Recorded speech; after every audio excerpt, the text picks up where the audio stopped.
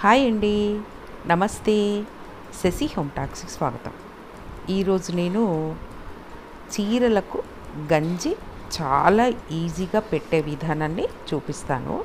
అయితే ఈరోజు నేను గంజి పేస్ట్తో చీరలకి గంజి పెడతాను. ఆ గంజి పేస్ట్ను ఇంట్లోనే తయారు చేసుకుంటాను. అది మనకు సంవత్సరం రోజులు నిల్వ ఉంటుందండి. చాలా ఈజీగా పెట్టుకోవచ్చు గంజి. అయితే దానికి కావాల్సింది సగ్గుబియ్యము లావుగా ఉండే సగ్గుబియ్యాన్ని తీసుకోవాలి. చిన్నది అవసరం లేదు. లావువే తీసుకోండి. వాటిని ఒక కప్పు తీసుకోవాలి. బౌల్లోకి వేసుకోవాలి. ఏదైనా పాత్రలోకి అనుకోండి. అందులోకి వేసుకొని అవి మునిగేట్టుగా నీళ్ళు తీసుకోవాలి. ఆ సబ్బు బియ్యంలో కూడా మనం తీసుకున్న వాటిల్లో ఏదైనా కసువు లాంటిది ఏదైనా ఉంటే తీసేయండి. కొంచెం వేడి నీళ్ళు కెటిల్లో పెట్టి కాచి వేశాను. త్వరగా నానటానికి అంతే చల్లవి కూడా వేసుకోవచ్చు. బాగా సాఫ్ట్గా అయ్యేదాకా నానబెట్టుకోవాలి. మునిగేదాకా నీళ్ళు వేయాలి. పైన కొంచెం నీళ్ళు కనిపిస్తూ ఉండాలి. వీటిని బాగా నానబెట్టుకోవాలి. ఎంతవరకు సాఫ్ట్గా అవ్వాలి? మనము ఇలా పిసికితే మెత్తగా అవ్వాలి సబ్బు బియ్యము. వాటిని చూసుకుంటూ ఉండాలి. సాఫ్ట్గా అయిందా లేదా అనేసి అంతవరకు నానబెట్టుకోవాలి. కొంచెం వేడి నీళ్ళు వేస్తే త్వరగా నానుతుంది. చల్ల నీళ్ళు వేస్తే కొంచెం టైం పడుతుంది. నానిన తర్వాత వీటిని మిక్సీ జార్లోకి వేసుకోవాలి. చాలా ఈజీ ప్రాసెస్ అండి. నేను ఇది వరకు సమ్మర్లో చేసుకున్నాను అనమాట సమ్మర్ స్టార్టింగ్లో మార్చిలో చేశాను. ఇంత దాకా వచ్చింది మొన్ననే అయిపోయింది. మరి నేను చేసుకుంటూ ఉన్నాను. అప్పుడే ఈ వీడియో కూడా చేసేస్తున్నాను. అప్పుడు ఏదో మొత్తం ఆ రోజు సంబంధించిన కుకింగ్ బ్లాగ్లో ఇది కలిపేశాను నేను. అందుకని ప్రత్యేకంగా చూపిద్దాము అనేసి వీడియో చేస్తున్నాను. ఇలా పేస్ట్ చేసుకోవాలన్నమాట. కొంచెం నీళ్ళు ఎక్కువైనా పర్వాలేదు తక్కువైనా పర్వాలేదండి. గట్టిగా కూడా చేసుకోవచ్చు. ఇలా పేస్ట్గా చేశాను నేను. ఇది వరకు చేసినప్పుడు కొంచెం గట్టిగా వచ్చింది. మనకు వేసిన నీళ్ళను బట్టి మనకు వేస్ట్ కాకుండా ఇలా చేసుకోవచ్చు. చూడండి ఇలా దోశ పిండిలాగా పేస్ట్ లాగా వస్తుంది.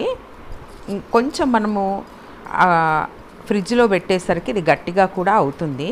అయితే ఈ పేస్ట్ని మనము ఏదైనా గాజు సీసాలో కానీ ఇలా స్టీల్ డబ్బాలో కానీ వేసి పెట్టుకోవాలి. అంతే. చాలా ఈజీ ప్రాసెస్ అండి. దీన్ని ఒక డబ్బాలో కలెక్ట్ చేసి పెట్టుకుంటే మనము అప్పుడప్పుడు తీసి వాడుకోవచ్చు. సమ్మర్ అయిపోయింది కదా అప్పుడప్పుడు కాటన్ శారీస్ కడుతూ ఉంటాము.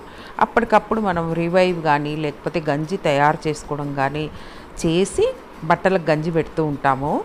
అలా కాకుండా ఇలా చేసి చూడండి మీకు విసుగు లేకుండా చీరలకు హాయిగా ఇన్స్టెంట్గా ఏ సాంబార్ పొడి వేసినట్టుగానో చారు పొడి వేసినట్టుగానో అలా వంటల్లోకి అలా గంజి కూడా తయారు చేసుకోవచ్చు అనమాట ఇది మన దగ్గర ఉంది అంటే ఇన్స్టెంట్గా గంజి తయారు చేసుకోవచ్చు.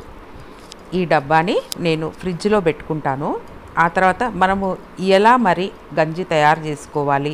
ఈ పేస్ట్తో అనేది కూడా నేను చూపిస్తాను. స్టవ్ వెలిగించేసి ఒక చిన్న పాత్ర పెట్టేసి అందులోకి మనకు గంజి బాగా పట్టాలి చీరకి అంటే ఒకటిన్నర టేబుల్ స్పూను వేసుకోవాలి. లేదు మామూలుగా ఉండాలి అంటే ఒక టేబుల్ స్పూను సరిపోతుంది.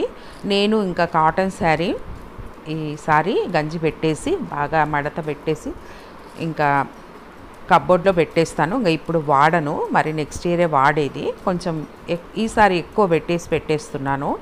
లేదు రెగ్యులర్గా వాడుకోవాలంటే ఒక స్పూను పేస్టే సరిపోతుందండి. కొంచెం నీళ్ళు వేసి బాగా చిక్కగా అయ్యేదాకా ఉడికించాలి. జస్ట్ వన్ మినిట్ కూడా పట్టదు. అంతే.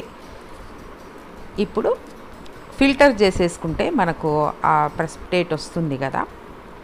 మిగిలింది అది తీసి పక్కన పెట్టేసేయండి. దాన్ని జిగురుగా వాడుకోవచ్చు అనమాట మనము. దీన్ని ఒక చిన్న డబ్బాలో వేసి పెట్టుకొని బుక్స్ పేపర్స్ అతికించడానికి ఉపయోగించవచ్చు. చూడండి ఎంత బాగా ప్యూర్ గంజి తయారైపోయింది. ఇప్పుడు శారీ కూడా పెట్టి చూపిస్తాను. చూడండి ఆ మాత్రం గంజే వచ్చింది. నేను రెండు మగ్గుల నీళ్ళు వేశాను.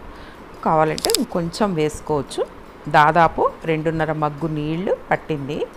నేను శారీని చాలా ఈజీగా గంజి పెట్టే విధానం చూపిస్తున్నాను. ఇలా మనం కుచ్చెళ్ళు వేసుకుంటాం కదా అడ్డంగా మడత పెట్టేసి ఇలా వెడల్పాటి టబ్బులో మనం పెట్టామంటే గంజి చాలా ఈజీగా గంజి పడుతుందండి. ఇలా పొడుగ్గా శారీ కంటే అడ్డంగా మడిచి పెట్టామంటే మొత్తం అది బాగా ఈక్వల్గా పీల్ చేస్తుంది గంజి. వెంటనే ఇంకా పిండేసేయడమే. ఉతికేప్పుడైతే ఇంకొంచెం నీళ్ళు తక్కువగా తీసుకోవాలి. అంటే ఉతికిన చీరకి ఇది ఆల్రెడీ ఉతికి ఆరిన చీర అనమాట తడి బట్టలకైతే కొంచెం తక్కువగా నీళ్ళు పడతాయి. అయిపోయింది. అలా బాగా విదిలించిన తర్వాత మనము ఆరేసేయాలి. మనకు అపార్ట్మెంట్స్లో ఉంటాం కదా ఉంటూ ఉంటాము. ఆరేయటానికి తాళ్ళు అలాంటివి కట్టుకుంటూ ఉంటాం. అలా కాకుండా ఇలాంటి స్టాండ్ ఒకటి మనకు బట్టలు ఆరేసే స్లైడింగ్ స్టాండ్ అనమాట అది అరేంజ్ చేసుకుంటే మనకి చాలా ఈజీ అయిపోతుంది పని. ఈ మధ్య న్యూస్ పేపర్లలో కూడా యాడ్ ఇస్తూ ఉన్నారు. ఇలాంటివి రకరకాల నెట్స్ ఇలాంటివి మేము మీ ఇంటికి వచ్చి సర్వీస్ చేస్తాము అనేసి. చాలా ఈజీగా బట్టలు ఆరిపోతాయి. పూర్వం మన ఇళ్ళల్లో దండాలు ఉండేటివి కదా అలాంటి మోడల్లోనే దండం అయితే ఒకటి రెండు ఉండేవి ఇంటి పొడవున. ఇది మనకు బాల్కనీ ఏ సైజు ఉంటుందో ఆ సైజులో ఫిక్స్ చేసి వెళ్ళిపోతారనమాట ఇలా స్లైడింగ్గా ఉంటుంది. మొక్కలు బాగా గాలికి ఊగుతున్నాయి కదండి. ఒక మందారం పువ్వు పూసింది. నేను అర్లీ మార్నింగ్ చూడలేదు. అంటే ఈరోజు మల్లెపూలు గులాబీ పూలు అవన్నీ పెట్టాను దేవుడికి. సాయంత్రం పెట్టాలి మందారం కోసేసి. తమలపాకు కూడా బాగా వచ్చింది. ఈసారి మల్లె మొక్కకు ఒక్క మొగ్గ కూడా రాలేదండి. కుండీలో మట్టి మార్చాను అన్నీ మార్చాను ఎందుకో తెలియదు ఈ కట్ చేసి మళ్ళీ పెట్టాను. చూడాలి మరి. మందారం పువ్వు పూసిందని నేను చూస్తూ ఉన్నాను. చూడండి చీర ఆరేసాను కొంచెం ఎండగా ఉంది ఈరోజు మనకు ఆల్మోస్ట్ జూలైలో వచ్చినా కూడా వర్షాలు అంతంత మాత్రమే పడుతూ ఉన్నాయి. చీర కూడా చాలా త్వరగా ఆరిపోయింది.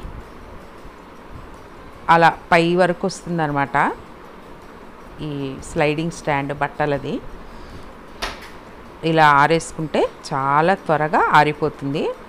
ఇలా నిలువుగా కాకుండా అడ్డంగా కూడా ఆరేసుకోవచ్చు. మనకు బయట ఆవరణ ఇలాంటివి ఉంటే గోడ కూడా ఉంటే గోడ మీద ఆరేసుకోవచ్చు. చూడండి ఆరిపోయింది. బాగా గంజి పట్టింది. నేను మడతేసాను మడతేస్తే ఇస్త్రీలాగా అనిపిస్తుంది. అంత బాగా చాలా బాగా పట్టింది గంజి. నేను తయారు చేసిన ఈ శారీ స్టార్చ్ పేస్ట్ విధానం ఎలా ఉందో మీరు కామెంట్స్ ద్వారా తెలపండి. నచ్చితే లైక్ చేయండి షేర్ చేయండి సబ్స్క్రైబ్ చేసి బెల్ ఐకాన్ని క్లిక్ చేయండి. ధన్యవాదం